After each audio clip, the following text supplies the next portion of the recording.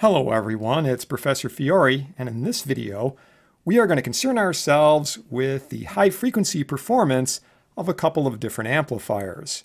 In other words, what's the F2 of something like an inverting voltage amplifier using an op amp? And we're also going to take a look at what's the F2 of a current to voltage transducer. In other words, a current controlled voltage source. So we are going to begin with a little unity gain non-inverting buffer. And the reason I'm putting this up here is to just have a reference point for our op amp. What is the sort of innate speed of the op amp? What's the gain bandwidth product that we expect?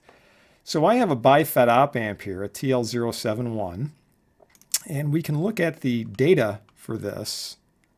You can get an idea what's going on here. What you want to look at two items. The dominant pole, so this is the low frequency corner. In this case, it's 15 hertz.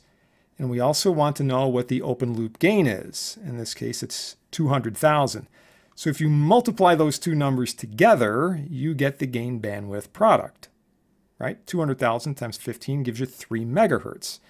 Now the precise shape that you're going to get, you know, this will depend on the other poles, the other uh, high frequency breaks, the lag networks in the op amp, how exactly those things are arranged. But basically we know that the F2 of an amplifier, certainly of this kind of amplifier, should be the gain bandwidth product divided by the noise gain, where the noise gain is RF divided by RI plus 1. All right, that's the noise gain. In an amplifier like this, that's also the signal gain.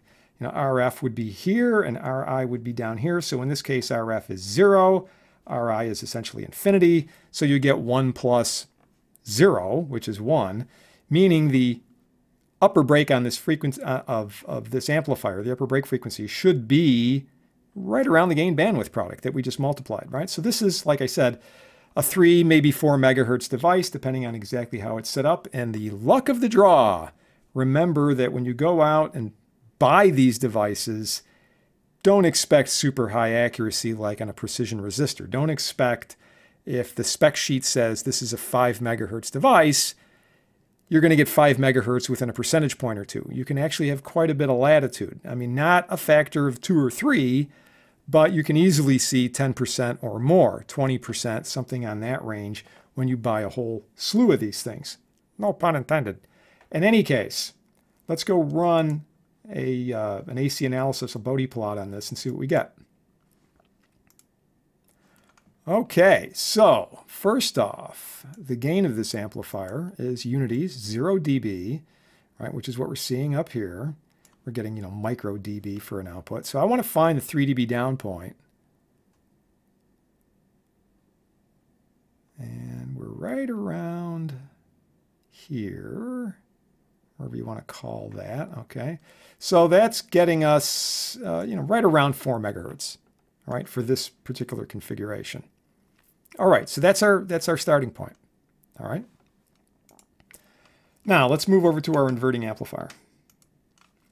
So the signal gain for an inverting amplifier is RF over RI with a phase shift. In other words, a negative RF over RI. So in this case, that would be 10K over 10K, which is 1 inverting. We expect the output to be in antiphase with the input.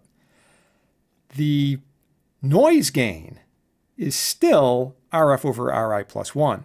That's always the case for these kinds of amplifiers. So the signal gain is unity in magnitude, but the noise gain is 2. So I do not expect this thing to have the same sort of bandwidth I get on my non-inverting series parallel style op amp. This should be less than 4 megahertz. Okay, how much less? Well, you know, we'll see. It should be eh, around half that. Okay. All right, we're going to do the same thing. Alrighty, so there's the 0 dB midband gain. So that's good, right? We know that's operating the same way. So again, I want to find minus 3 dB. And, you know, where are we here? All right, so I'm getting about 1.7, well, nearly 1.8 megahertz. So about half of you know what we determined experimentally in our unity gain buffer, right? That's still a little bit higher than what the uh, the simple calculation on the data sheet indicated, which was 3 megahertz. But that's, like I said, typical. It all depends on the internal variations of the op amp and so forth. And in the real world, you know, you are going to have impacts on, you know, uh, small capacitances and such on your feedback resistors and, and so forth. Okay, so that's good.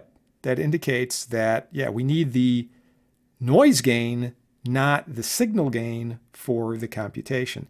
And we can verify this and we can go a step further, right? We can uh, turn around and let's say use a different value of Ri. So let me drop that to 5K. So now the signal gain should be negative 2, right? 10K over 5K. So, you know, based on the fact that we had 1.78 roughly, um, that would indicate an effective F unity of uh, somewhere around 3.5, 3.6 megahertz, something like that. So now this has a signal gain of 2 and a noise gain of 3. So if I divide that out by 3, I would expect, right, using the noise gain, dividing by 3, I would expect uh, an upper break in F2 of maybe a little over a megahertz. Let's see what happens. Okay, so the signal has gone down as expected. All right, so this, like I said, has a gain of a signal gain of 2, which would be 6 dB, and that's exactly what we're seeing. So I want to drop down 3 from there, which would put us at 3.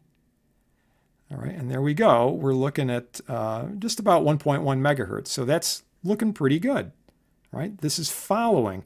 And this is, um, you know, this is one of the things a lot of people forget. They sort of reflexively, they just take uh, the gain bandwidth product and they divide it by the gain, the gain, and they automatically assume it's the signal gain. Because of course in, an, in a non-inverting amplifier, signal gain and noise gain are the same, so it works out. But you have to remember that this is a downside on the inverting voltage amplifier, is that you're always going to get a little less bandwidth than you are in the same gain configuration, same signal gain configuration for a non-inverting amplifier. It's just the way it is, right? It's more noticeable, obviously, at these low gains. You got to gain one, two, three. It's, it's obvious you're getting less. High gains, not so much. But here's an interesting question. What if we were to go the other way? In other words, what if I put in a larger RI value than I have for my RF value? So we get a fractional gain.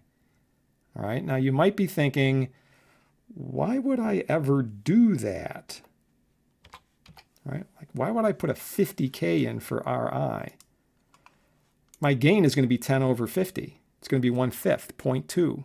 Well, you know, there are times when you have a large signal and you want to bring the level down and just using a, a voltage divider is maybe not optimal because this way you can at least have control over the output impedance of this circuit, which um, you know, if you're just using a voltage divider, that's going to be highly dependent on the resistors you're using and what you're going to drive for a load and so forth. Um, so that's a possibility. But this is an interesting question nonetheless. Right? What do we wind up with for a bandwidth? Right? Now remember, when we started off here with the unity gain, we got this value, about 1.78 to three digits, 1.77 um, megahertz. And our unity gain version of this, the buffer, right, the, the non-inverting buffer, we were looking at roughly 4 megahertz. So where are we going with this one? All right. Well, we're going to find out in just a second. All right, so we do have fractional gain, as would be expected. All right, so that's uh, negative 14, right, for 0.2. So we want to drop 3 from that, negative 14, which would put us at uh, negative 17. Right about there. And we're at 3.27, nearly 3.3 megahertz. Right, so that's greater than what we had for the unity gain version of this. Right, we had 1.78 for that, and now we're looking at 3. 3 nearly. Okay, not quite full bandwidth, but it seems to be following this equation, right? So what's the noise gain here? It's 1 plus RF over RI. So in this case, the noise gain is 1.2. So take your uh, your gain bandwidth divided by 1, 2, and sure, you know, sure enough, you're going to get a bigger value of F2. Let's put in 100K, right? Just keep on going. This should be even higher. It should be higher than 3.27 meg. Let's find out.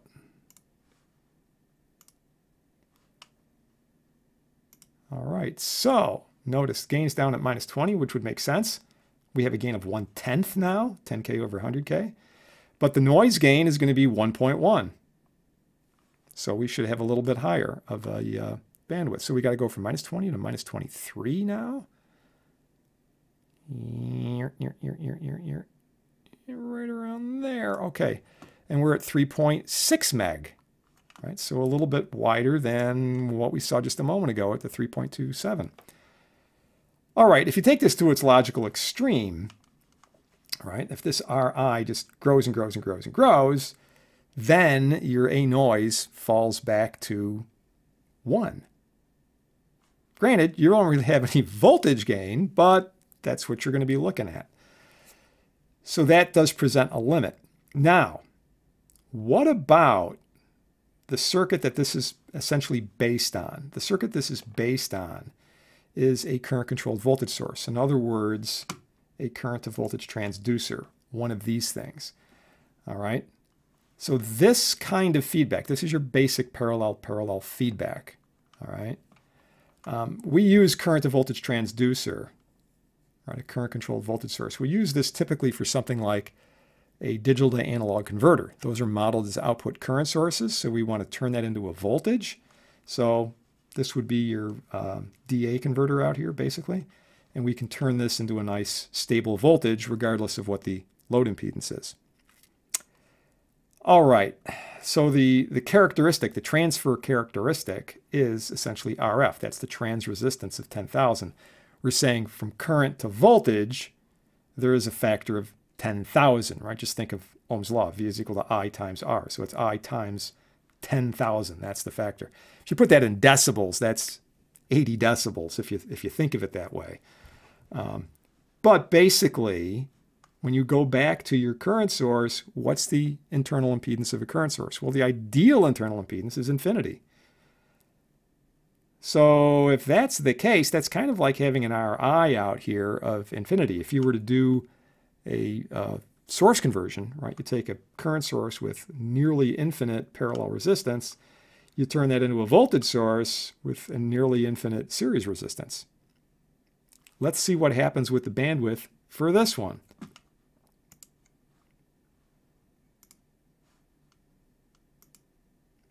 Boom. All right. So there's the 80, right? That's the 80 dB. That's really just 20 log 10 of the 10,000 ohms. So, you know, we don't really think of that as gain per se. So anyway, there's the 80. Drop 3 to 77. And right around there, 4 megahertz. And just to remind you, all right, this was our original uh, buffer that we had, virtually 4 megahertz. All right, so, you know, we're, we're within our little experimental deviations here, okay? 4 megahertz, 4 megahertz. So you can basically say your current to voltage transducer has a bandwidth, an upper limit, an F2 of whatever the gain bandwidth product of the amplifier is. All right, So it's max bandwidth that you're going to get out of one of these things. All right? Beautiful. You can see an obvious sort of movement from the inverting amplifier towards this current to voltage transducer. All right, don't forget, it's noise gain, and noise gain is always 1 plus RF over RI.